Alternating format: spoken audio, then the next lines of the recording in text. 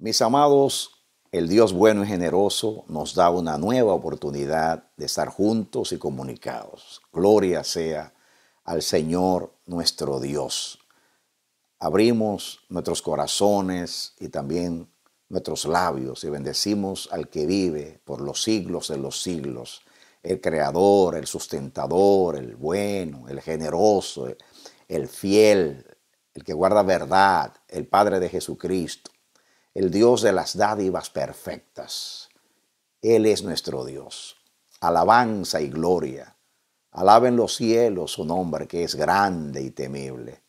Todos sus santos bendigan el nombre del Señor. Ahí donde tú estás, en tu casa, abre tu boca y bendícelo, alábalo, aclámalo, porque Jehová nuestro Dios es digno de suprema alabanza. Bendito es el nombre de Jesucristo, el Hijo de Dios, el que traspasó los cielos, aquel por cuya dignidad nosotros somos salvos y tenemos entrada y tenemos comunión con el Padre.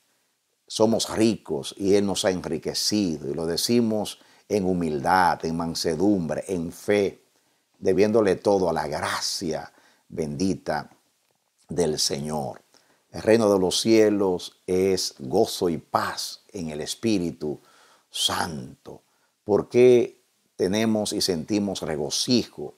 Porque Cristo ha vencido, porque la palabra que hemos recibido vence al mundo, vence a los adversarios, ha vencido a Satanás. Nuestra victoria está segura. Aquel a que nosotros servimos y seguimos no puede ser vencido de lo malo. Y Él nos protege y Él nos guía. Y todo el cielo está a nuestro favor y los ángeles del Señor son ministros que cuyas asignaciones o entre las asignaciones está el cuidarnos, el protegernos.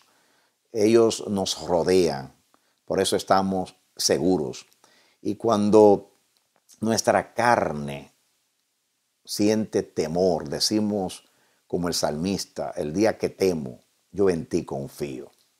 La fe nuestra vence al mundo y también el espíritu que hemos recibido no es de temor, sino de valor y de dominio propio. Hemos recibido de nuevo. Yo creo que en aquella ocasión que narra el libro de los Hechos de los Apóstoles, en el capítulo 4, donde dice que levantaron sus voces unánimes al cielo después que fueron intimidados y se les prohibió predicar a Jesucristo y ellos eh, invocaron el nombre del Señor y el lugar tembló y fueron llenos del Espíritu Santo. Ellos pidieron eh, de nuevo valor, coraje.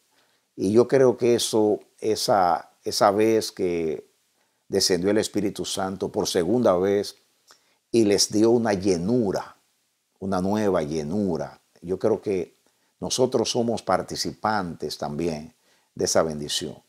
Quiero decir que no solamente el efecto de esa, de esa bendición de Dios no se limitó a aquel tiempo, sino que eh, ha traspasado los siglos y ha llegado también a nosotros esa promesa del Espíritu, del Espíritu Santo. Así que Vivimos en un mundo malo, en un mundo adverso. Estamos administrando una crisis mundial donde millones de personas han, perdido eh, la vida y hay muchos deudos, hay personas enlutadas y el tiempo es difícil y angustioso. Hay temor por doquier, reina la aprensión, el miedo el, susto. Así que es necesario que nosotros nos aferremos a la palabra de vida. Es tiempo de buscar a Dios, es tiempo de, discernir la palabra de Dios, es tiempo de refugiarnos en Dios, de buscar ayuda. Como dice el Salmo, nuestra ayuda, nuestro refugio es el Dios de Jacob. Y porque Él es nuestro amparo y fortaleza y nuestro auxilio en las tribulaciones. Por eso no temeremos a lo que nos pueda hacer el hombre, no temeremos a nada, porque el Dios que hizo los cielos y la tierra y sostiene los mundos y que nos dio vida eterna en Jesucristo, ha jurado por su nombre y por su santidad, mantener su fidelidad y protegernos y guiarnos. Así que la palabra de Dios penetre hoy y llegue, y llegue ahí a tu vida, donde tú estás, y llegue a tu casa en este momento. Yo bendigo el nombre de Dios, bendigo el nombre de Jesucristo, invoco el nombre de Dios, que sea la gloria de Dios manifestada en nuestras vidas en este, en este momento, que los enfermos sean sanados, que toda aprensión, todo miedo, todo susto, toda inseguridad desaparezca del pueblo de Dios, que nos sintamos eh, protegidos por el Señor, que el Señor pueda poner, un, pueda poner un muro y un antemuro alrededor de nuestras familias y nos proteja. Yo sé que Él lo hace, como hasta ahora Él lo ha hecho. Confiemos, amados, en el Señor. La fe agrada a Dios. La fe es un voto de confianza al Señor. Eh, la salvación, como he dicho muchas veces en el Nuevo Testamento, es por la fe, entiendo, porque el hombre dudó de Dios al principio. El primer pecado consistió en dudar de la, palabra, de la palabra de Dios. Por eso en Cristo Jesús el Señor nos da una nueva oportunidad de restaurar nuestra confianza con nuestro Creador y con nuestro Padre. A fe hemos sido llamados. La fe la fe reina. La fe es el instrumento de Dios para vencer todo lo malo. La fe es la mano a través de la cual nosotros podemos asirnos de, de, toda ayuda de Dios y armarnos con toda armadura del cielo. La fe trae alegría al corazón de Dios y a nosotros nos provee seguridad. Tenemos que andar en, esa palabra de fe. Y ya ustedes saben que fe también es emuná, porque la palabra verdad o emuná se traduce también fe en el Antiguo Testamento. Y hay una relación muy profunda y muy íntima entre la verdad y la fe. Como he dicho en temas eh, anteriores, eh, la verdad es eh, confiable, verificable, porque está, basada en la palabra de Dios, está basada en los dichos del Señor, en sus juicios, en sus preceptos, en sus caminos, en sus propósitos, y eso es infalible, eso no varía. Por eso dice que en Dios no hay sombra de variedad. Él es el mismo ayer, hoy y por los siglos. Y, esa es la palabra de fe que nosotros hemos recibido. La fe y la verdad eh, son una misma cosa, porque la, la, fe está basada en la verdad, la fe descansa en la verdad, la fe, la fe está fundamentada, cimentada eh, en, en, la verdad. Así que llegan a ser una misma cosa. En el, eh, en el Antiguo Testamento esas dos palabras son sinónimas. Si, juzgamos por la traducción de, la palabra emuná, que significa también fe, porque se puede traducir fiel y fidelidad, que son palabras que están muy relacionadas con la fe. Sin fe es imposible, dice la Biblia, agradar a Dios. El que a Dios se acerca debe creer que le hay y que es galardonador de aquellos que le buscan. ¿Por qué al Padre le produce tanta satisfacción que le crean. Bueno, ya dije que porque el hombre dudó de él, eh, la ofensa fue muy grande. Porque nosotros los seres humanos, que por naturaleza somos mentirosos, porque la Biblia dice que todo hombre es mentiroso. Nosotros no somos mentirosos cuando mentimos, aunque, aunque nosotros no mintamos, somos mentirosos porque esa es nuestra naturaleza. los hombres que aman la verdad eh, se ofenden cuando alguien duda de su palabra, especialmente si esas personas tienen un compromiso con la verdad. Pero es algo eh, irónico porque aún los mentirosos se ofenden cuando alguien duda de sus palabras. Han visto personas enojarse que son mentirosas cuando un amigo o un familiar duda de ellos. Eh, es ofensiva la, duda. Eh, en cualquier lugar donde usted vaya a, comprar algo, a un negocio, a un banco, donde quiera que sea, y, lo cuestione y usted se sienta como que están dudando de su integridad, usted se molesta, usted se incomoda, hasta se enoja. Y yo me pregunto, ¿cómo una persona que es mentirosa por naturaleza se ofende y se enoja si, si desconfían de, de su palabra?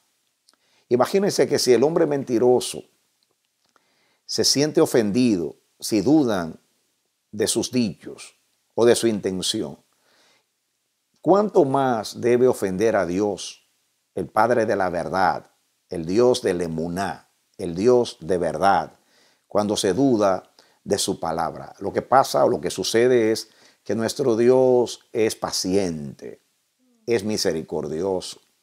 Él nos tolera, porque Él sabe que por naturaleza somos incrédulos, somos desconfiados.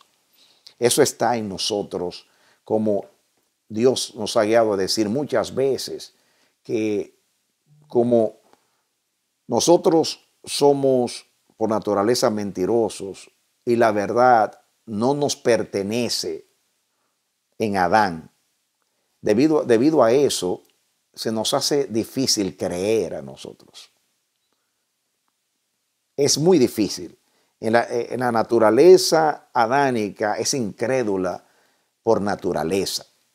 Posiblemente porque entró la duda cuando la serpiente sedujo a Eva, pues llevándola a creer que, que Dios le estaba mintiendo. Pues ahí puede ser que nació la inseguridad en el hombre, la, duda en el hombre y la capacidad del hombre para creer. El hombre vive eh, eh, encerrado en un entorno de, de mentiras. E, él es mentiroso y los que le rodean también lo son. El hombre teme a ser engañado. Y es increíble que los hombres que temen ser engañados, ellos engañan. Quizás porque tratan a los demás de acuerdo a lo que ellos eh, entienden y saben que son. Pero en resumen, si al hombre pecador, mentiroso por naturaleza, le es una ofensa que se dude de su, de su palabra o de su, de su intención, cuánto más el Dios justo, verdadero, recto, en quien no hay corrupción. Por eso la fe es un don de Dios. La fe no nos pertenece. La fe procede de lo alto. Es un don, es un regalo de Dios. En el paquete, diríamos así, que hemos recibido, el paquete, regalo de la gracia, eh, en el fruto del Espíritu, está la fe como un depósito, porque nos fue dada justamente para restaurar confianza y relación con nuestro Dios y poder de esa manera vivir en el camino de la verdad, poder eh, apropiarnos de, de los dones de Dios, de las conquistas de Cristo Jesús, nuestro Señor. Así que tenemos que dar gracias a Dios por la fe. La fe mora en nosotros por el Espíritu Santo. Siempre trato de aclarar que hay una diferencia entre positivismo y fe, entre una actitud positiva y la fe. Una actitud positiva puede ser, puede ser una capacidad natural.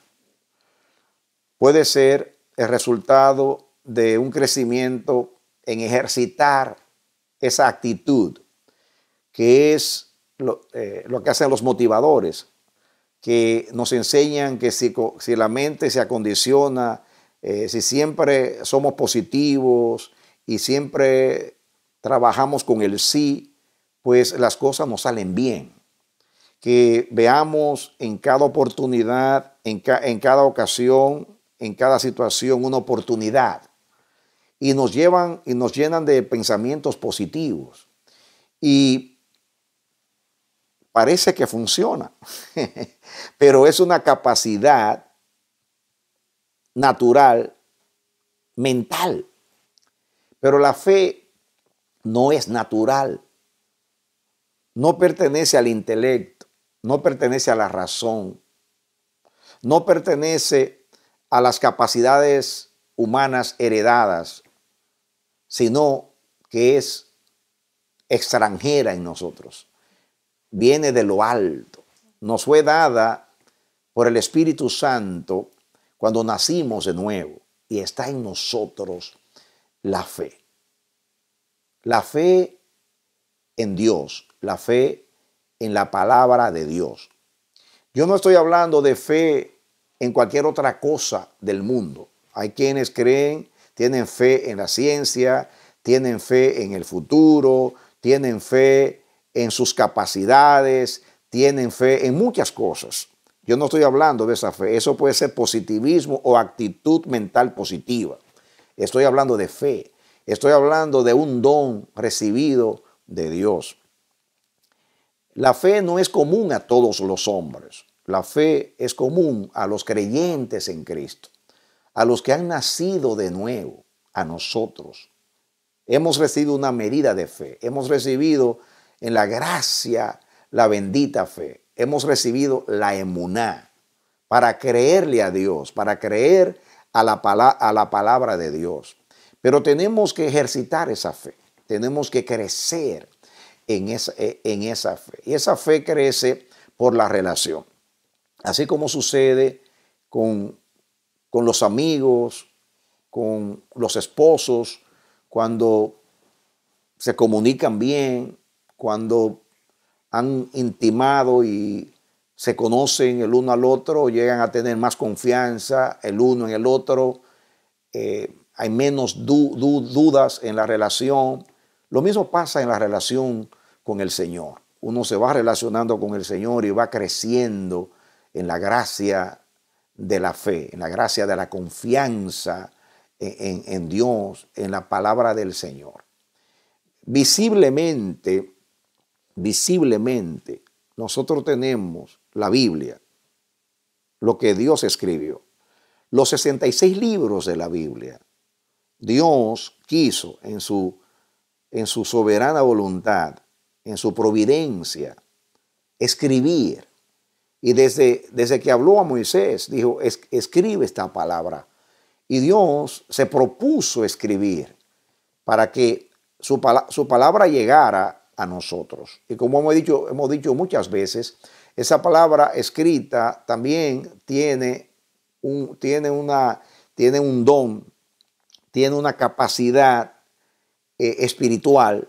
No solamente es letras, sino que en las letras de esa palabra, por eso dice que toda escritura es inspirada por Dios. Tiene, tiene la inspiración, tiene el soplo de Dios, tiene la guianza de Dios. Dios sopló, Dios dio dirección a los pensamientos de los 40 hombres más o menos que escribieron las escrituras. Y la Biblia es, no, es, es lo visible que Dios nos ha dado. Dios se hace presente en nuestras vidas por medio de la palabra. Por eso hay que amar este libro. Y cuando digo el libro, no estoy hablando de, e, en sí de, un ejemplar de la Biblia. Estoy hablando del contenido. Tenemos que amar la palabra, la palabra de Dios. Como, como dice la Escritura, que el hombre que teme a Dios se deleita, se deleita en la palabra de Dios, como leímos en el Salmo 112 que se deleita en los mandamientos.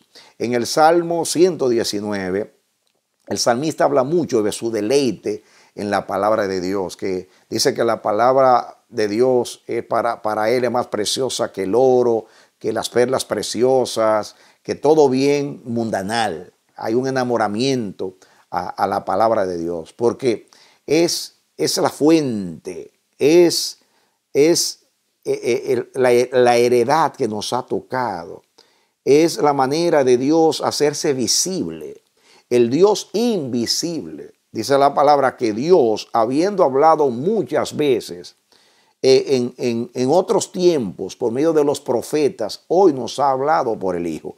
Dios ha hablado muchas veces. En otros tiempos, hoy nos ha hablado por el Hijo. Nunca nos ha dejado sin palabra. Y la Biblia revela que hay promesa de Dios, aquellos que aman la palabra, que se deleitan en la palabra. Eso no es un romanticismo, eso es un don de Dios, es una capacidad de Dios, que la tienen los que temen a Dios. El hombre piadoso que teme a Dios ama la palabra de Dios, porque crea la, a la palabra de Dios. Nosotros, mis amados, tenemos que poner nuestros ojos, nuestra mirada eh, firmemente en Dios por medio de la palabra. Por eso tenemos que no solamente leer las escrituras cada día, sino escudriñarla, como dice la misma palabra, y, amarla, y hacerla nuestra fuente de inspiración. Debiéramos de hacerla nuestro alimento diario, nuestro alimento espiritual. Porque vivimos en un mundo, amados, un mundo incrédulo, un mundo ateo, un mundo secular. Hay muchas filosofías huecas, contrarias a la palabra de Dios. Hay una rebelión contra Dios. Hay una, una burla, hay blasfemia, eh, como dice eh, Pablo, que eh, una de las características del hombre moderno es que, dice Pablo, que en los últimos días va a prevalecer, van a prevalecer los hombres blasfemos.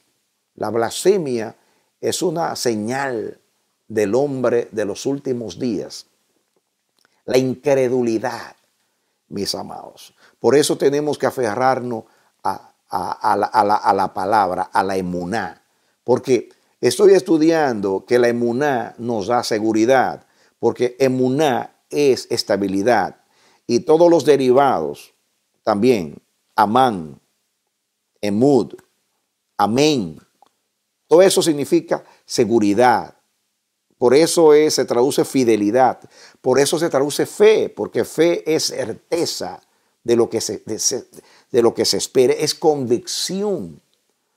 Aunque la fe es un don de Dios, esa capacidad de, confiar, de, esa convicción, ese denuedo, ese aferramiento a, a, lo que es de Dios, eso no es un accidente, eso no, no es algo que viene fortuitamente, eso es, es el resultado de una relación de, una intimidad diaria con, el Señor. La Biblia, la Biblia dice que, que, la relación de Dios, la comunión íntima de Dios, Salmo 25, es con los que le temen y a ellos hará conocer su pacto, a ellos hará conocer su alianza. Así que eh, es un, como sucede con los esposos en un matrimonio y con los amigos. Entre más se comunican, entre más se relacionan, más, más se profundizan los lazos, el vínculo. Así pasa con la relación con Dios. Pero repito, Dios es el Dios invisible y se ha hecho visible en la manifestación de su gloria por medio de la revelación que yo llamo histórica porque desde Adán hasta hoy Dios se sigue revelando.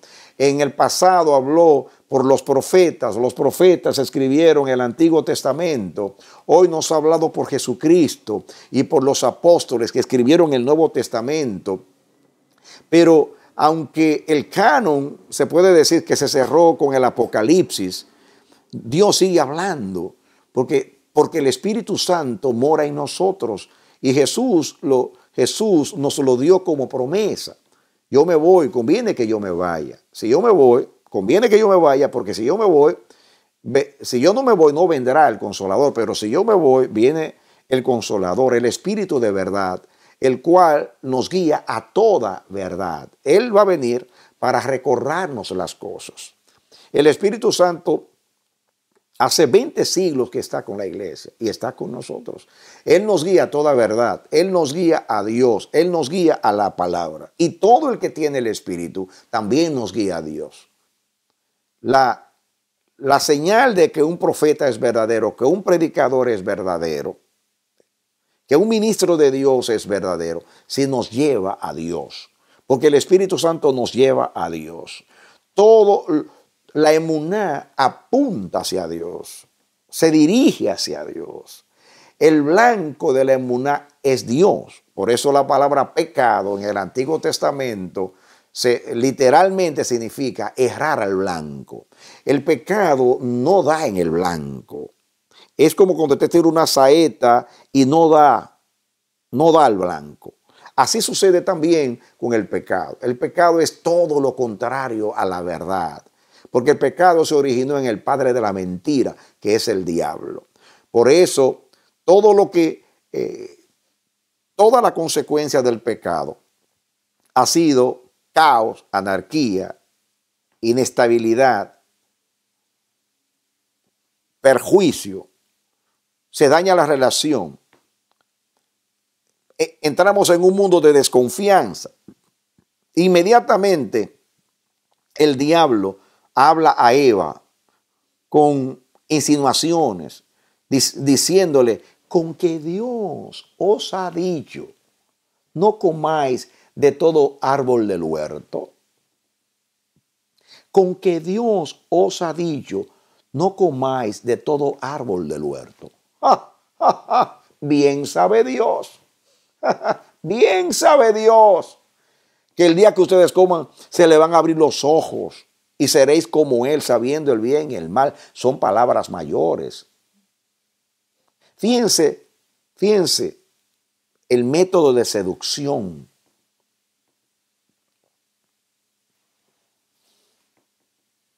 ¿No sabía Lucifer la consecuencia de dudar de la palabra de Dios? Si él mismo se convirtió de lucero de la mañana a vástago abominable que se arrastra por el suelo. ¿No sabía él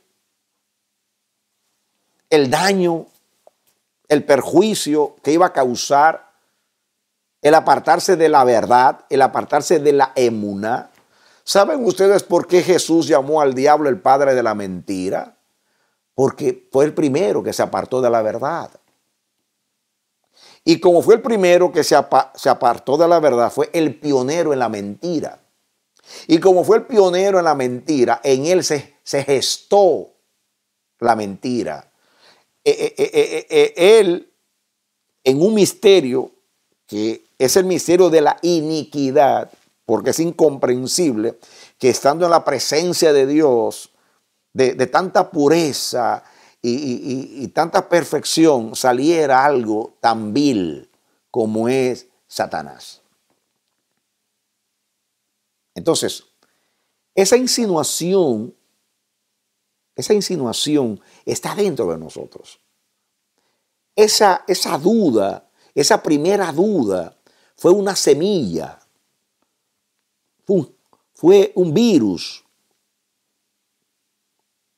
maldito entró en el hombre. Todo desajuste, todo trastorno en la vida del hombre es consecuencia de, de, divorciarse de la verdad, de apartarse de la verdad. Lo contrario de la verdad es la mentira. Y Dios no es solamente representante de la verdad y el Padre de la verdad, de la emuná, sino, sino que es la fuente, es la esencia misma, es la imagen misma de la gloria de la verdad. Él es el Dios supremo, el que lo llena todo. Él es el origen de todas las cosas. Yo, es muy difícil decir lo que quiero decir con palabras. Él no solamente representa la verdad, Él es la verdad. Y como Él es el creador, sustentador y el padre de toda la creación, Él necesita tener una relación de confianza con su creación. Es imposible tener una buena relación si no hay confianza. Toda la anarquía y el caos que vemos hoy en el mundo, es la desconfianza. Si, si lo analizamos en último análisis, cuando hay problemas entre los esposos, es desconfianza. No necesariamente es una desconfianza indirecta, o sea, directa. Indirectamente, cuando discuten, cuando están en desacuerdo, es desconfianza. Uno no confía en el criterio del otro. Uno no se quiere someter a, la idea, al criterio, a la opinión del otro. Duda eh, no solamente de sus palabras, muchas veces de su intención. O sea, todas las cosas que se puede decir que han dañado la relación entre los humanos es, se puede resumir en una sola palabra, desconfianza. Así que esa insinuación, esa duda que entró a nosotros como un, como un virus, como una semilla del mal, permanece en el hombre. Por eso, por eso es tan difícil al hombre relacionarse con la verdad, amar la verdad, permanecer en la verdad, guiarse por la verdad, fundamentarse en la verdad. Es muy difícil. Tiene que haber una intervención sobrenatural. Por eso tenemos que decir con estupor, gracias sean dadas a Dios por Jesucristo. Gracias sean dadas a Dios que tuvo misericordia de nosotros, amados, que quiso alcanzarnos, que quiso iluminarnos. La, por eso Jesús hizo tanto énfasis en la verdad. Ya, si usted eh, lee el Evangelio de Juan, va a ver que la palabra verdad y la palabra luz son, son sinónimas, van juntas. E, el interior del hombre se oscureció cuando dudó de su creador. Nuestra, nuestra esperanza de estabilidad, de seguridad, radica en creerle a Dios. Es imposible vivir una vida de seguridad si no hay confianza en Dios.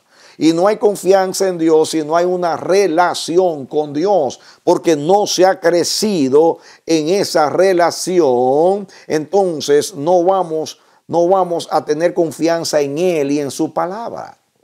Y aún, mis amados, relacionándonos con Dios, miren ustedes, es la experiencia de Israel.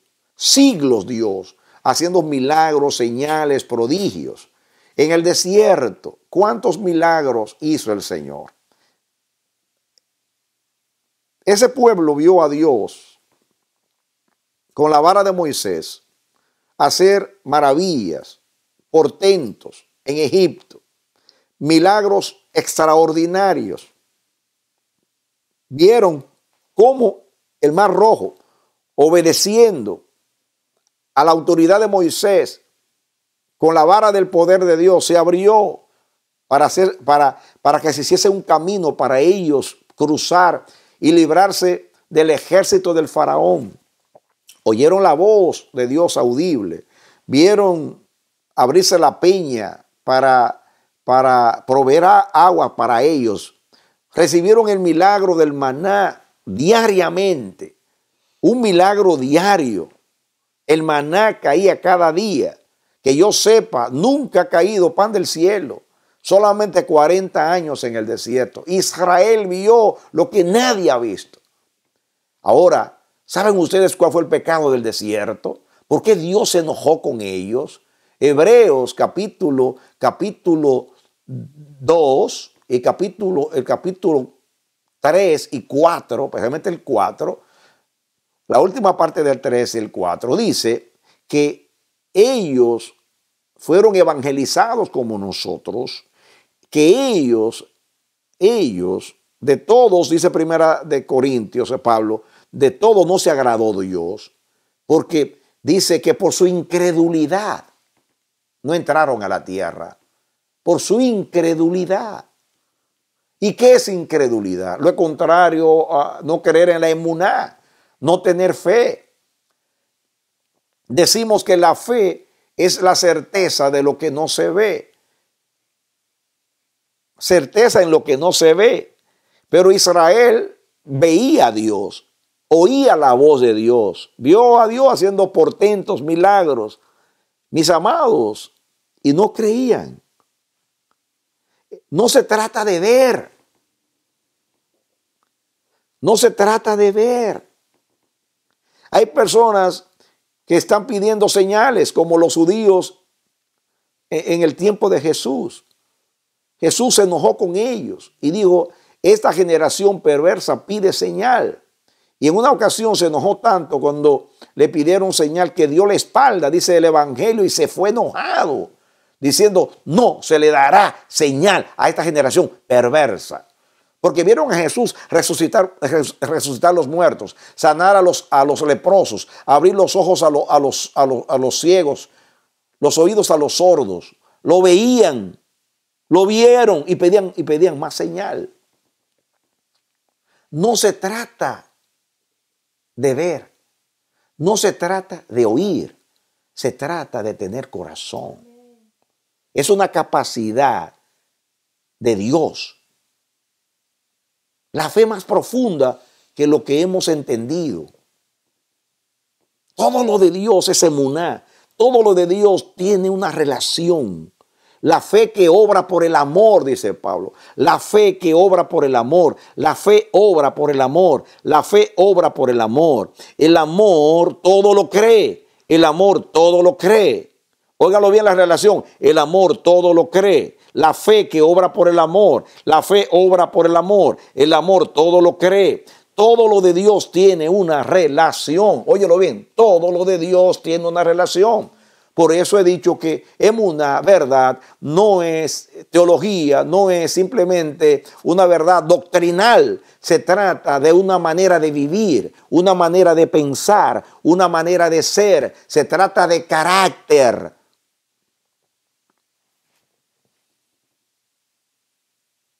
Por eso tenemos que dar gracias a Dios que hemos recibido una medida de fe, capacidad, amados. Pero tenemos que ejercitarnos en la fe. Tenemos que ejercitarnos en la fe. Tenemos que crecer en la fe. Porque si perdemos la relación, nos vamos a debilitar en la fe, que es lo que quiero comunicar. Israel vio a Dios cada día hacer milagros, pero no tenía una relación con Dios. Dios era un extraño cercano. Óigalo bien, Dios era un extraño cercano. ¿Por qué digo un extraño cercano? Porque Dios en el desierto, en el capítulo 25 de Éxodo, versículo 8, como Israel moraba en tiendas en el desierto, Dios dijo a Moisés, hacedme a un santuario, un tabernáculo, una tienda grande, y yo habitaré entre ustedes. Yo habitaré entre ustedes. Esa palabra habitar significa ser un, en hebreo, ser un vecino. De esa palabra, de ahí, shaken, viene la palabra shekina o shekinah, que sabemos que significa la presencia de Dios manifestada. Entonces, Dios quería ser un vecino y puso su tienda. el tabernáculo estaba en el mismo centro. Dios organizó todas las tribus alrededor del tabernáculo. Dios era el centro de la vida de Israel en el desierto. Una simbología y representación de lo que Dios quiere ser en medio de su pueblo. Hacedme un santuario y yo habitaré entre ustedes. Y la palabra seré un vecino. Voy a ser un residente, un conciudadano con ustedes. Dios siempre se ha querido acercar. En Cristo, en Cristo dice que el verbo se hizo carne y habitó entre nosotros y vimos su gloria, gloria como la del unigénito del Padre, lleno de gracia y de verdad. Entonces, no ha sido falta de interés de Dios, no ha sido falta de iniciativa de Dios. Él ha querido estar cerca y siempre ha estado cerca pero ha sido un extraño cercano. Ha sido un extraño íntimo. Ha sido un, cercano ignorado. Ignorado. Es como Jacob en Betel, cuando tuvo la revelación, durmió y vio la escalera y vio los ángeles que subían y bajaban. Y dijo, Jehová estaba en este lugar y yo no lo sabía. Yo no lo sabía. No había una relación. Fue después en Peniel que se vio cara a cara con Dios. Es que solo significa Peniel, rostro de Dios. Desde ahí se convirtió en Israel y tuvo una relación. No hay, no hay confianza si no hay relación.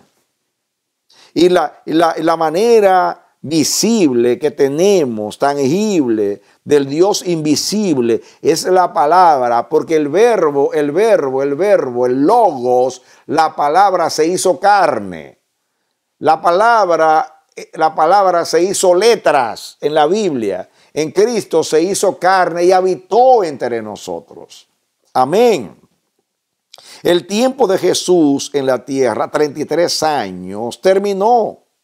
Pero Jesús ascendió al cielo. Pero envió al Espíritu Santo y por medio del Espíritu Santo Jesús prometió a la iglesia, a ti y a mí, yo estaré con vosotros todos los días hasta el fin del mundo. No hay emuná sin relación y no hay seguridad sin emuná. No hay estabilidad sin emuná. Eso explica nuestras inseguridades, nuestros vaivenes, porque somos como, como las olas del mar que vamos y venimos. Por eso es tan cambiante nuestro estado de ánimo. A veces estamos arriba y otras veces estamos abajo. Eh, a veces estamos felices y otras veces estamos tristes. A veces tenemos ánimo para hacer las cosas, otras veces no.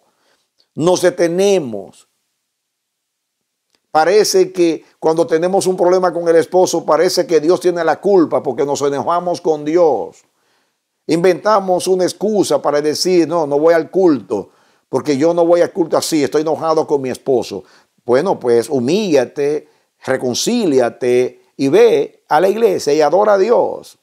Porque cuando Dios es supremo en tu vida, cuando la emuná es supremo, cuando tú vives de toda palabra que sale de la boca de Dios y que tú entiendes que todo lo que hay en el mundo es pasajero, es temporal, es efímero, es circunstancial, que solamente hay algo que es perdurable y eterno, es Dios, su palabra, su, su esperanza, sus promesas, los dichos de su boca.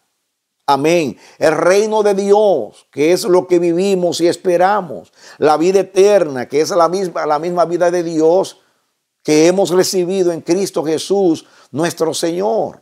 Entonces, cuando usted entra en esa convicción, usted se aferra a la palabra de Dios y usted retiene, se aferra y retiene el reino de Dios se hace fuerte y solamente los valientes lo arrebatan. Retén lo que tienes, dice el Apocalipsis, que nadie arrebate tu corona.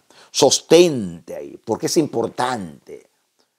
el apóstol Pablo decía, de ninguna cosa hago caso, ni estimo mi vida preciosa para mí mismo, con tal de que yo acabe mi carrera y el ministerio que recibí del Señor Jesús, que es dar testimonio de la gracia de Dios. ¿Cuándo lo dijo? Lo dijo cuando Agabo tomó el cinto de él y dijo, así le harán a este varón si va allá en Jerusalén. Y que, dice Lucas, tratamos de convencerlo de que no fuera. Pero Pablo decía, ¿qué hacen ustedes molestándome? Eh, porque yo no solamente estoy dispuesto a sufrir por Cristo en Jerusalén, sino a morir si necesario, porque el Espíritu Santo por todas las ciudades me dice que en Jerusalén me esperan tribulaciones, pero que yo debo ir a Roma. Tengo una instrucción de ir a Roma, pero tengo que pasar por Jerusalén. O sea, dijo, de ninguna cosa hago caso. Esas palabras siempre me han animado, me han guiado, no solamente en el aspecto eh, personal, sino pastoral, ministerial. De ninguna cosa hago caso. Es que nada en este mundo vale la pena.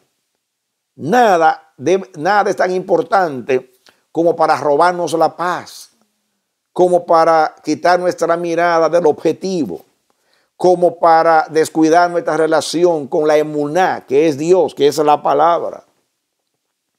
El hombre sabio, como dice el Salmo 112, que gobierna sus asuntos con juicio. Estoy en el Salmo 112, aunque no lo estoy leyendo, pero dice que ese hombre que teme a Jehová, que, que prospera en todas las cosas, que siembra para las generaciones que siguen, que sirve a su generación, pero afectando a, las que siguen. Ese hombre que teme a Dios, que es juicioso, gobierna todos sus asuntos con sabiduría, con inteligencia, no tomando riesgos, sabiendo que administra un tesoro que es eterno y que no lo va a cambiar por las cosas efímeras de este mundo. De ninguna cosa hago caso de ninguna cosa hago caso. La seguridad es el resultado de nuestra relación con la emuná, porque emuná es estabilidad. Pero, esta, pero ese también es el resultado de tener una relación con Dios. No es algo fortuito, no es un accidente, no es una casualidad. Es el resultado de firmeza, de constancia, de perseverancia, de denuedo, de aferrarnos, de poner los ojos en Jesús, de dejarnos absorber por la palabra de verdad. Amén. De comprometernos con esa bendita palabra de Dios, mis amados. Relación con la verdad. Relación con la emuná Así crecemos en la gracia de la fe, en la fe que obra por el amor, en el fruto del Espíritu. Es un resultado. Es un resultado. El reino de, Dios, de los cielos, se hace fuerte. ¿Por qué se hace fuerte? Porque tiene que hacer frente a todos los embates de la oposición y todo lo que hay en el mundo se opone a Dios y está en enemistad contra Dios. Por eso tenemos que tener frente de pedernal, corazón de león, porque así es la palabra de Dios. La palabra de Dios es, es martillo que quebranta la peña, es fundamento eternamente estable. A Dios nadie le dio jamás Dios es el invisible. Se puede ver a través de la fe, porque la fe la certeza de lo que no se ve. Pero si tú quieres ver a Dios, aquí lo puedes ver, en este libro. Y tú preguntas, pero este libro tiene milenios y millones lo han leído y no tienen fe y no lo ven como los piadosos lo ven. Porque los piadosos tienen la fe para creer que este libro es la palabra de Dios, inspirada por Dios. Ellos alimentan, se nutren de ella cada día y viven de cada palabra. Cada día, yo sé que es la experiencia de ustedes, amados, cuando usted lee la Biblia, hay un pensamiento de la palabra que entra a usted. Y estoy seguro que en las redes, en los grupos, a través del teléfono, de los celulares, de las redes sociales, entran mensajes. Nos, somos invadidos por mensajes de hermanos que fueron impactados por un pasaje de la Biblia y ese pasaje ellos lo, lo hacen circular y llegan a nosotros muchos mensajes, pero nosotros también, nosotros también leemos la palabra y, hay un pensamiento de Dios que entra a nosotros. Y ese pensamiento se hace vida ese día en, nosotros. Y así Dios sigue eh, añadiendo cada día. Ese pensamiento se graba en, en nuestro subconsciente y está ahí guardado como palabra de Dios. Nos sirve de, alimento ese día, de inspiración ese día, de guianza ese día. Mañana Dios a otros en la misma fuente. ¿Cuántas veces he leído yo la Biblia en 50 años? No sé cuántas veces, porque yo la termino y vuelvo y la comienzo. O sea, yo no me sé la Biblia entera de memoria. Pero yo te puedo decir muchas cosas de los capítulos que dice cada uno. Te puedo parafrasear porque ya sé más o menos qué es lo que sigue. Yo puedo decir, pero caramba, ya yo sé lo que sigue, no lo voy a leer. Es que cada vez que vuelvo y leo, es como si fuera un libro nuevo que nunca he leído en, otras ocasiones. Y yo sé que es la misma experiencia tuya. Es el único libro. Usted puede leer otro, otros libros y usted, y usted no tiene esa, misma sensación. Lo lee una vez, dos veces, por interesante que sea, y después, ah, ya, yo lo leí. Pero no pasa así con la palabra de Dios. Es nueva, es nueva porque es espíritu. No solamente se circunscribe o se limita a las letras, sino que en esas letras hay una, hay una profundidad y una inmensidad que no hay manera de evaluar, excede a todo conocimiento. Y así, es increíble. Como digo yo, usted puede tomar un texto como Juan 3, 16, un texto tan conocido, tan sencillo, de tal manera amó Dios al mundo, pero se han escrito miles de, de libros, miles y miles de libros a través de la historia, y si no libros, sino libros, pensamiento acerca de, ese texto. Se ha citado tantas veces, tantos sermones que se han predicado acerca de, él y, y cuántas veces se ha usado como referencia. Y cada predicador en el contexto que esté hablando lo puede citar con una connotación distinta. Dice, Dios mío, ¿cómo es posible que una sola palabra tan sencilla pueda contener tanto. Es la palabra de Dios, es el pensamiento de Dios. Mis amados, no hemos entendido ni un 1% del contenido de la Biblia. Óigalo bien, ni el 1%. La persona que más ha relacionado con la Biblia, que más la ha leído, como yo sé de muchos hombres de Dios que la podían, se la podían aprender de memoria, impresionaban a la gente. Yo he leído de, hombres de Dios que se, que se podían leer libros enteros de la Biblia de memoria. Tenían esa capacidad. Y hay otros que de noche y de día solamente vivieron para estudiar la palabra de Dios. Ellos ni un 1% han entendido. Así como se dice del cerebro humano que hay, hay vastas esferas intactas en toda vida humana, Así pasa con el libro de Dios. Nosotros, la Biblia es un océano. Nosotros apenas hemos puesto eh, eh, eh, nuestros pies en la arena, en la playa, apenas. Así como hacemos cuando vamos a la playa que nos mojamos los pies en la orilla. Así en el ancho océano de la revelación de Dios. Dios nos reta, mis amados. Ven a mí, ven a mi palabra.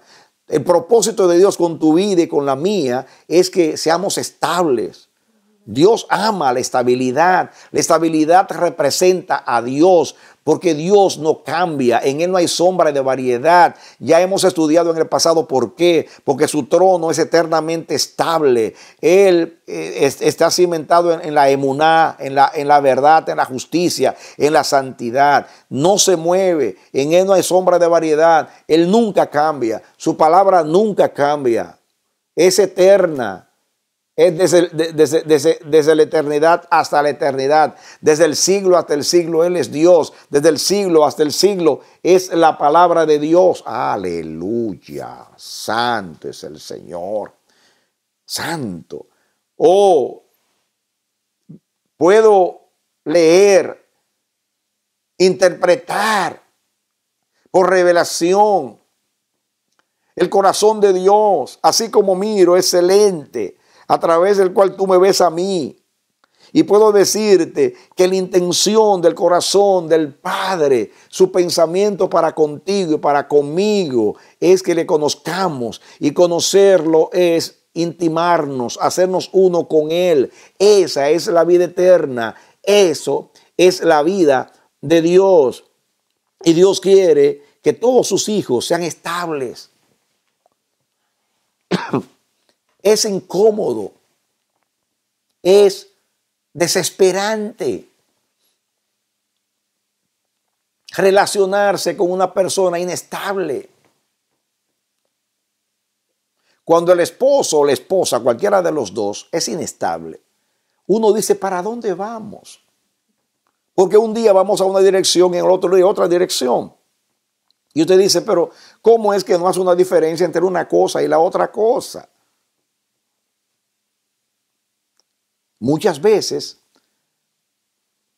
porque somos el resultado de nuestras emociones. ¿Y cómo son nuestras emociones? Volátiles, cambiantes.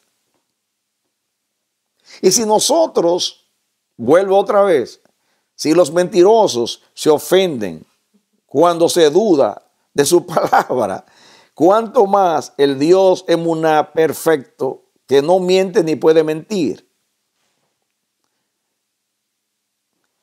Es lo mismo que estoy diciendo. Los seres humanos emocionales, cambiantes, se molestan cuando tienen un proyecto o algo en común o una obra que hacer con alguien que es inestable.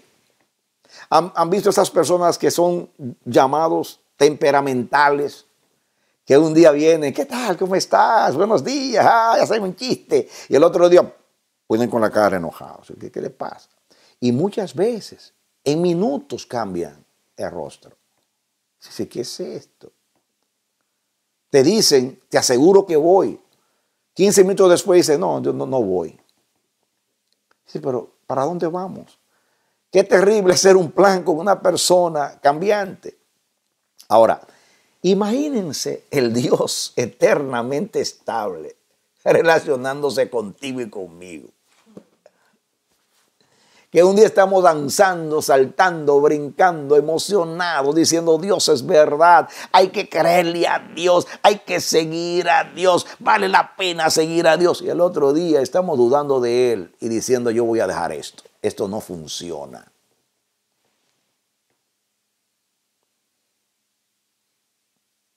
¿Sabe por qué estamos acá? Porque aquel a quien seguimos y con quien nos relacionamos, nuestro Padre, no cambia. Porque Él es la emuná, Él es estable. Él es estable. En Él no hay sombra de variedad. Esas cualidades que comencé a leer con ustedes y que no terminé, la, porque por el Espíritu vamos a ir allá. Eh, en el Salmo 112. Voy a leer y voy a comentar rápido lo que dije la vez pasada. Y van a ver algo en común. ¿Por qué prospera este hombre que teme a Jehová y vive en Lemuna? Dice, Salmo 112.1, bienaventurado el hombre que teme a Jehová y en sus mandamientos se deleita en gran manera. Eso lo dijimos la vez pasada, temer a Jehová es amar el bien, aborrecer el mal. Se deleita porque está convencido. Nadie se deleita en algo que no está convencido.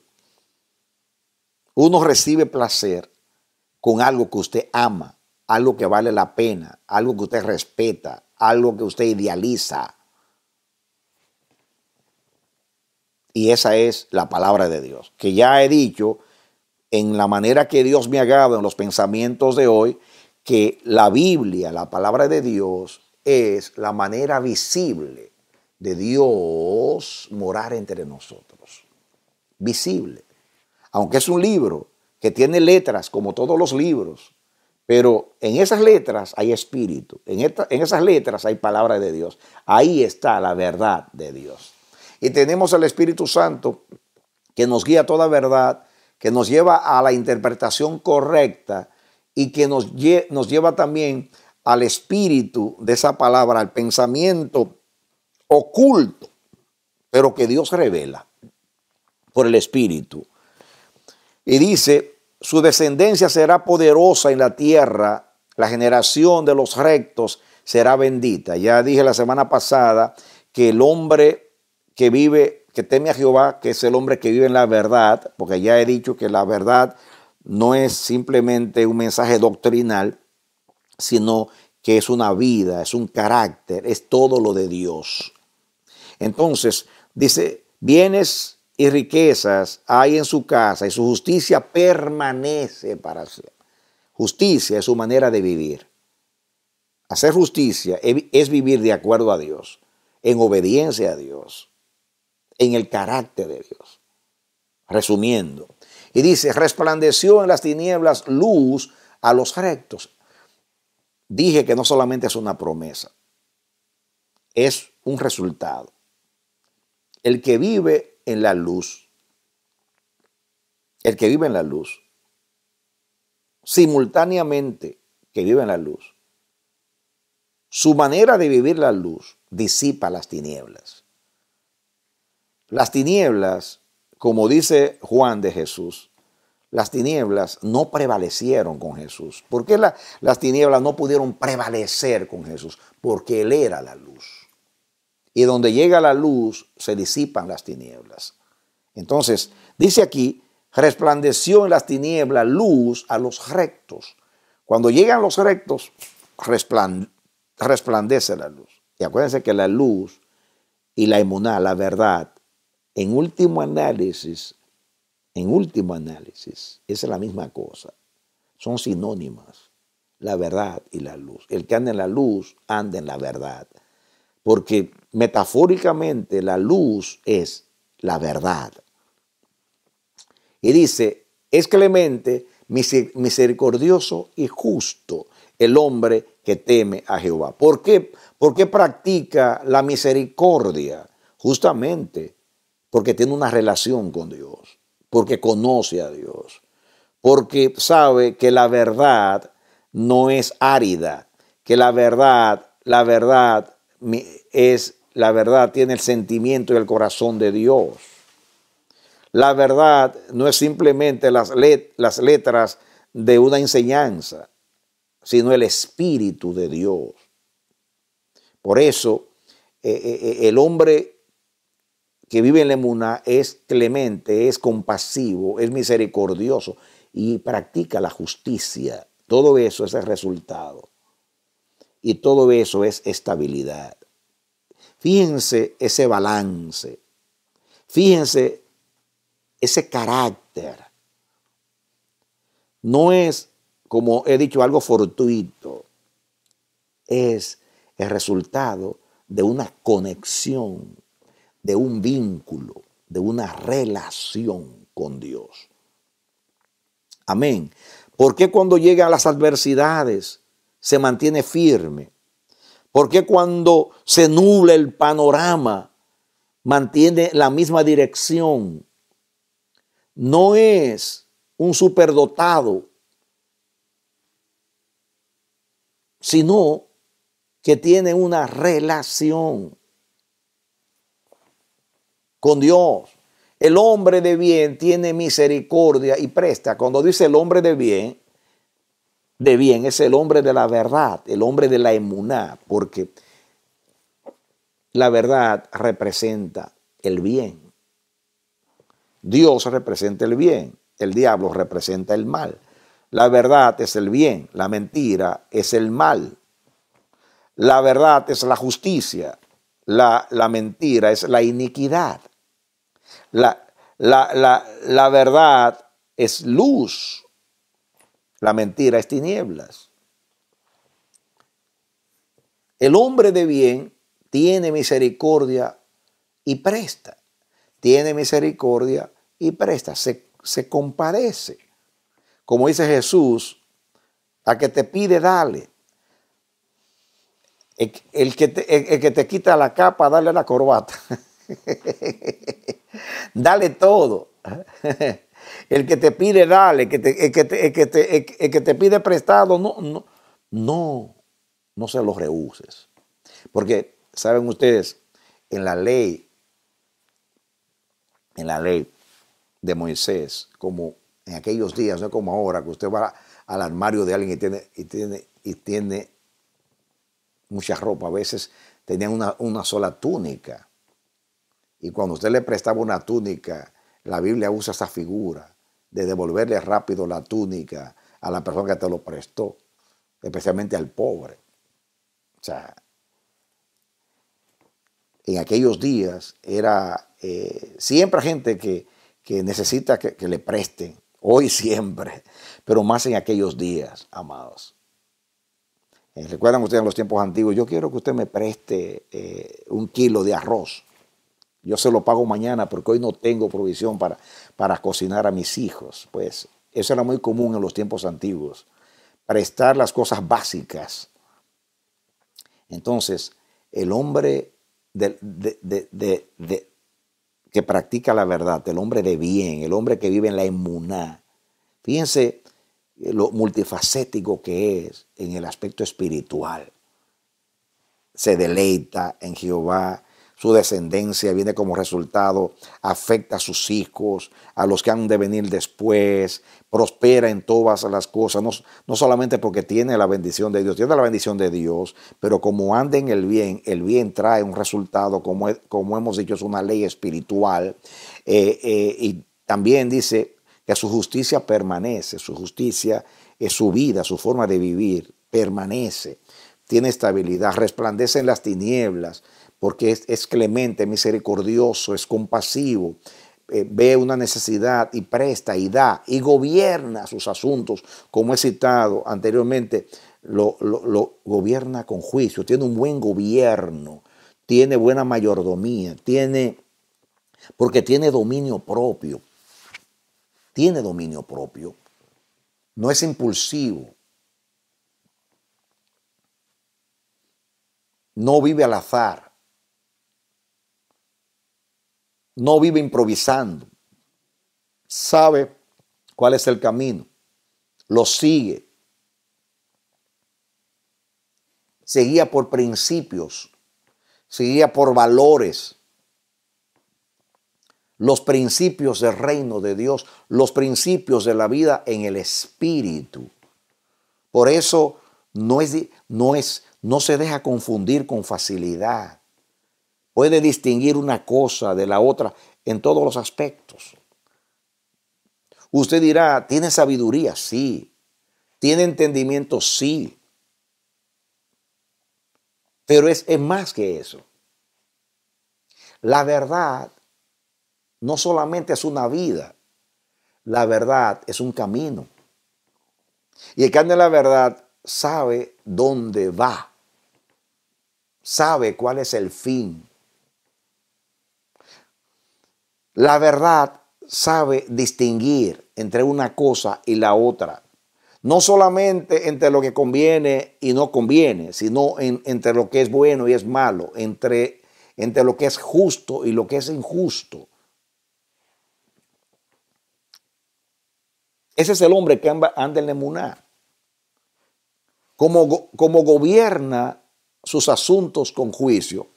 ¿Qué significa buen gobierno en el contexto que estamos hablando? Estabilidad. Estabilidad.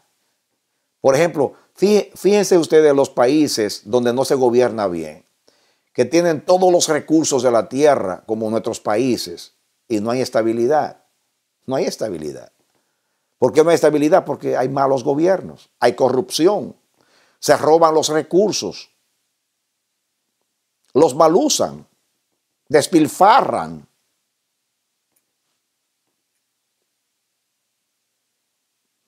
No gobiernan con justicia.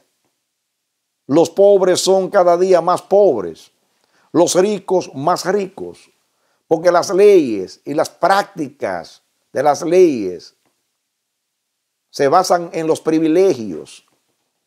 Países pobres tienen embajadas en el mundo entero. Te va a las embajadas y son palacios. O sea, aquí mismo muchas veces las embajadas en otros países, usted, usted lo ve en lo mejor de Manhattan. Y son lugares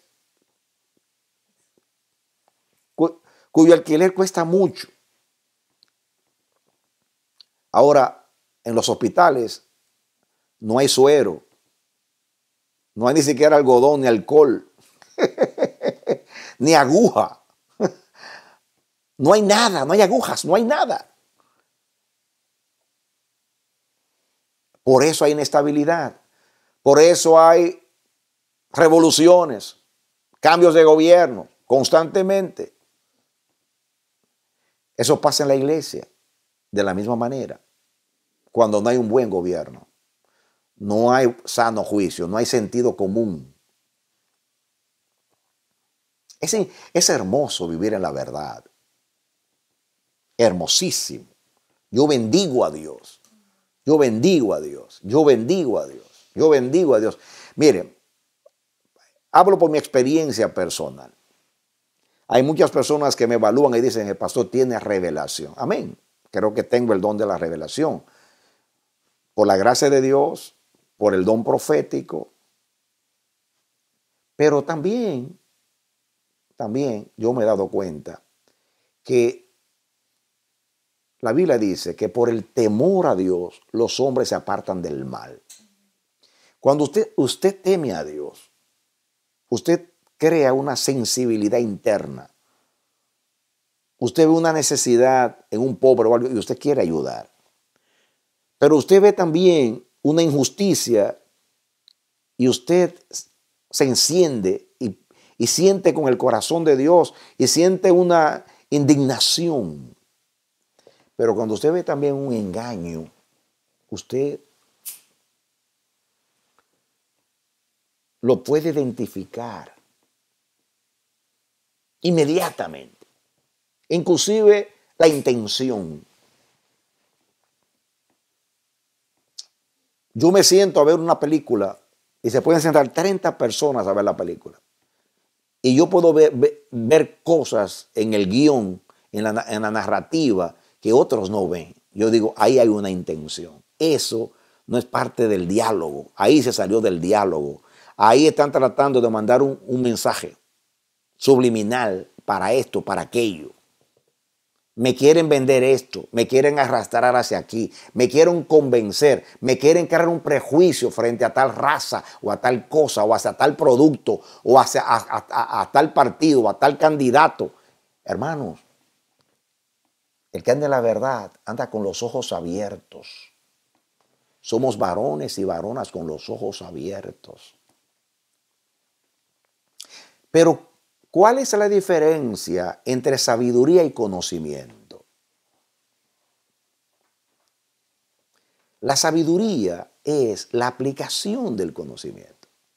usted puede tener el, todo el conocimiento del mundo, todo el conocimiento de la palabra, pero si usted no, si usted no aplica ese conocimiento para tomar buenas decisiones, entonces, entonces usted no es sabio. Sabio es aquel que aplica lo que aprende. Especialmente para gobernar, gobernar tus asuntos, gobernar tu vida, gobernar tu tiempo, gobernar tus, tus recursos, gobernar tus relaciones, gobernar tu familia, tomar buenas decisiones. Eso está íntimamente relacionado con la verdad. Es una manera de pensar, es una manera de ser.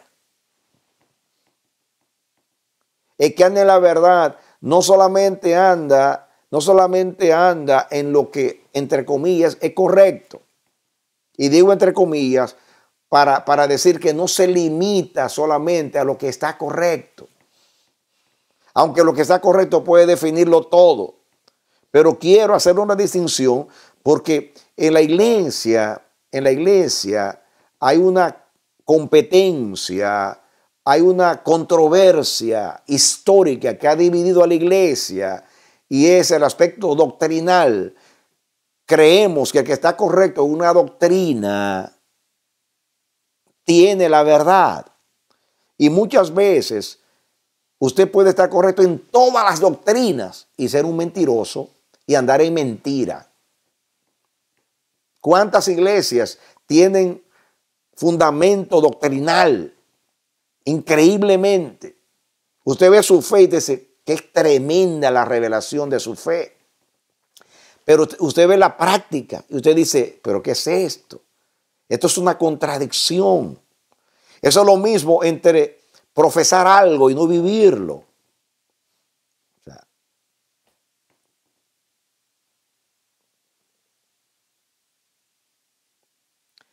Yo puedo decir, tengo 50 años sirviendo, sirviendo al Señor. Eso no significa nada.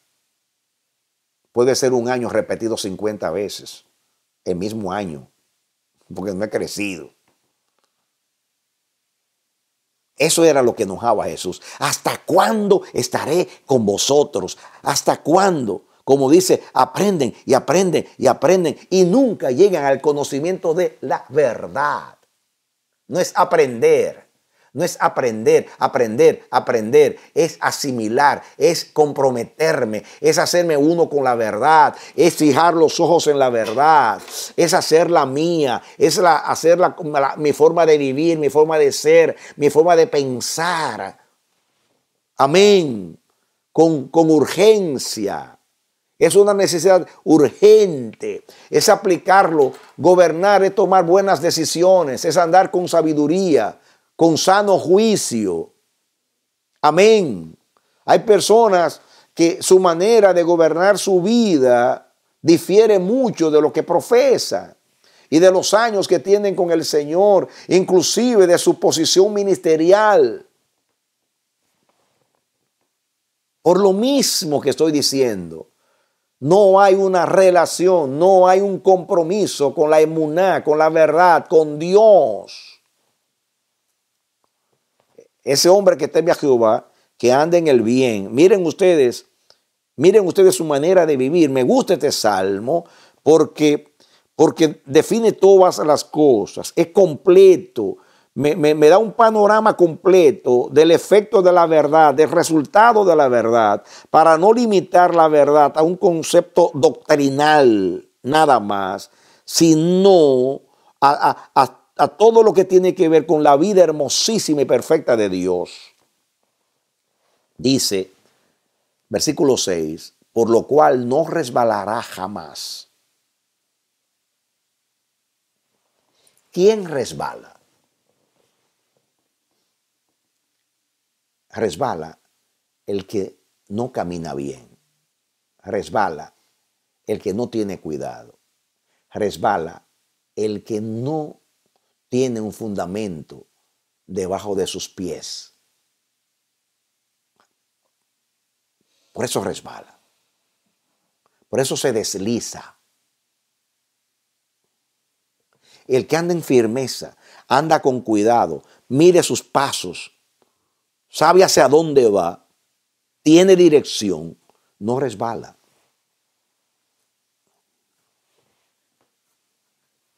Usted dirá, resbalar puede ser un accidente. El que anda en la verdad no anda en accidente. Dije el que anda en la verdad. Cuando usted cae en un accidente, las cosas que llamamos accidente muchas veces es descuido en la vida natural. En la vida espiritual no hay accidentes. El hombre que anda en la verdad no hay accidentes. En Dios no hay accidentes. ¿Han visto a Dios alguna vez teniendo un accidente? No tiene accidente. En Dios no hay accidente. Yo, hay accidentes en nuestras imperfecciones, pero no en la verdad. Me comunico. No estoy hablando que somos tan perfectos que no nos equivocamos. Ese no es mi tema. Mi tema es, mi tema es que cuando andamos en la verdad, no hay accidentes. Cuando nos salimos de la verdad, hay accidentes. Resbalamos. Perdimos el balance. Emuná es estabilidad, firmeza, seguridad. No, dice aquí, por lo cual no resbalará jamás. En memoria eterna será el justo. Memoria eterna, porque Dios siempre pensará en él y él pensará en Dios. Y él nunca será olvidado, porque sus obras son eternas porque fueron hechas en Dios.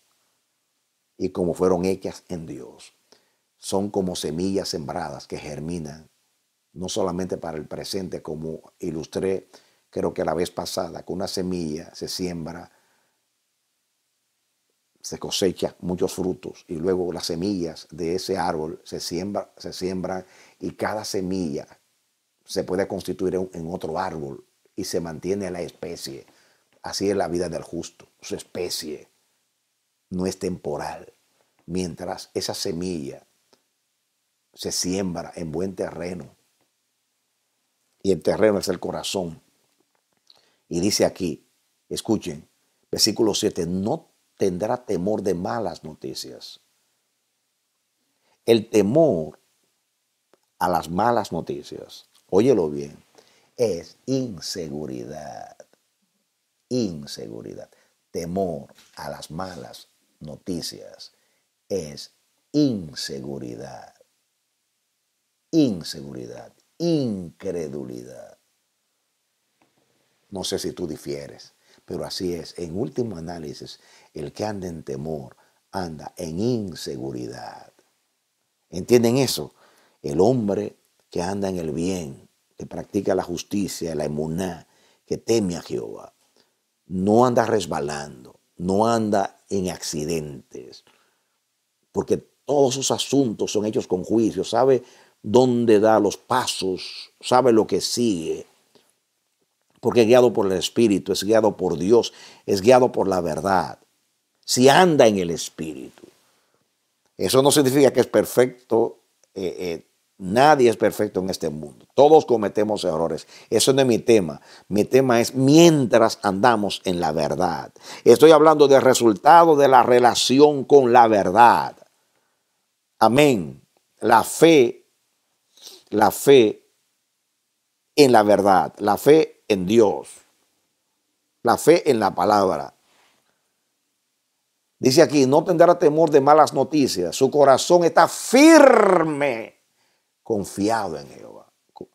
No teme a las malas noticias, está confiado como un león. Amén. Su corazón está firme, confiado en Jehová. ¿Y cómo vive el que está confiado? Estable. Como Jesús que durmió, durmió en la tormenta y caminó sobre ella.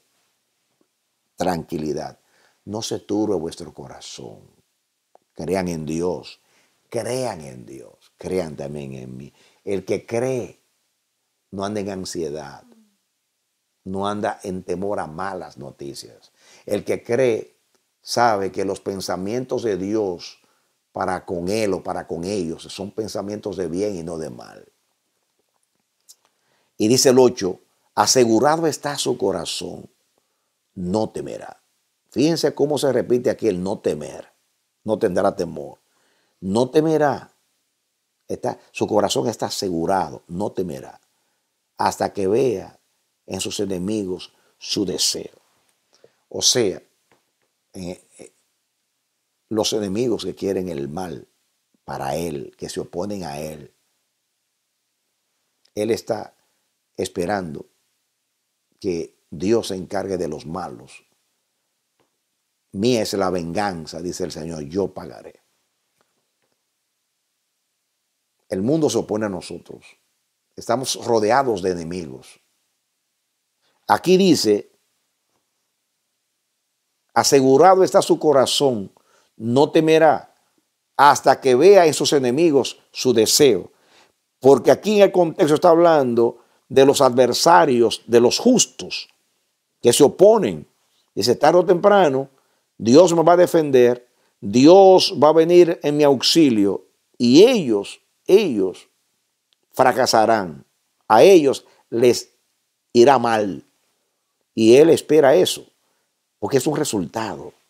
No tanto porque le desea el mal, sino porque si yo ando en el bien, el resultado va a ser lo bueno. Aquel que se opone a mí, que anda en lo bueno, como anda en lo malo, ya yo sé. No siquiera le tengo que desear el mal, le va a venir el mal. Simplemente yo lo estoy esperando. Dice el versículo 9, reparte, da a los pobres. Fíjense la generosidad. ¿Acaso no es emuná ser compasivo? ¿Acaso no es emuná tener empatía? ¿Acaso no es emuná conmoverse, identificarse con los que sufren, con los que son privados de lo básico en la vida? Esa es verdad.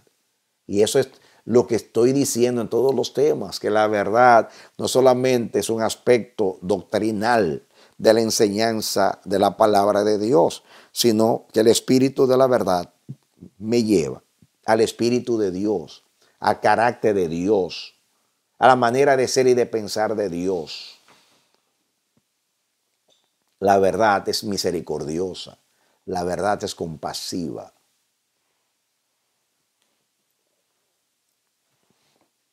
Y eso produce agrado a Dios y satisfacción al que vive así. Por eso nos llena el corazón de paz y de tranquilidad, sabiendo que estamos haciendo lo correcto. Y lo que, cuando hacemos lo que es correcto, sentimos una, una sensación interna de seguridad. Como quiera que lo analice, hay seguridad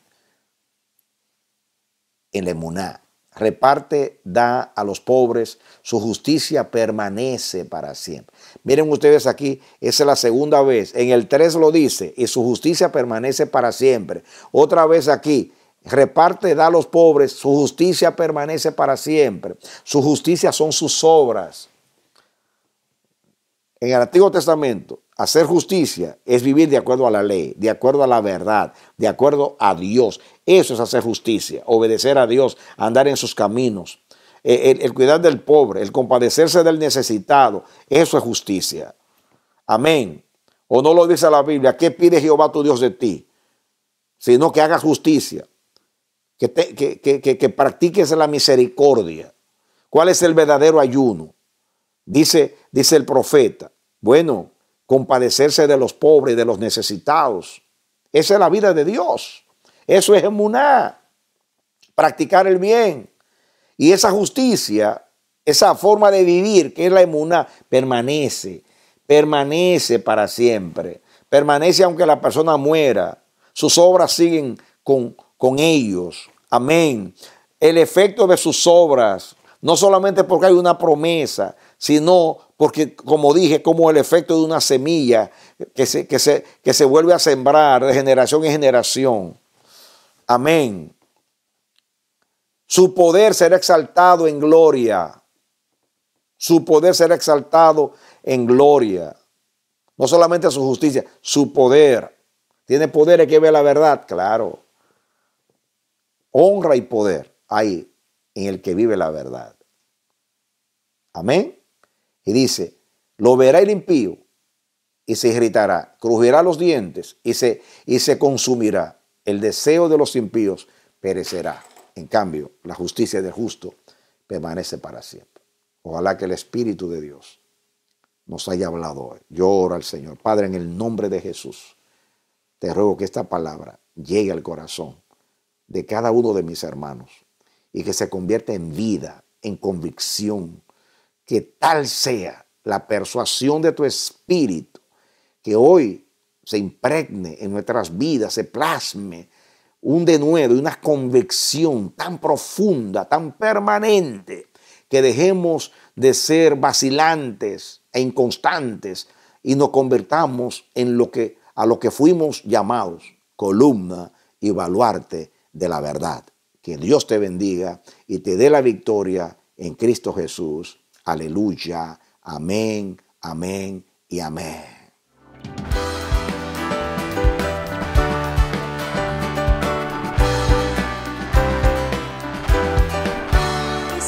Ha sido su programa Voz de Restauración.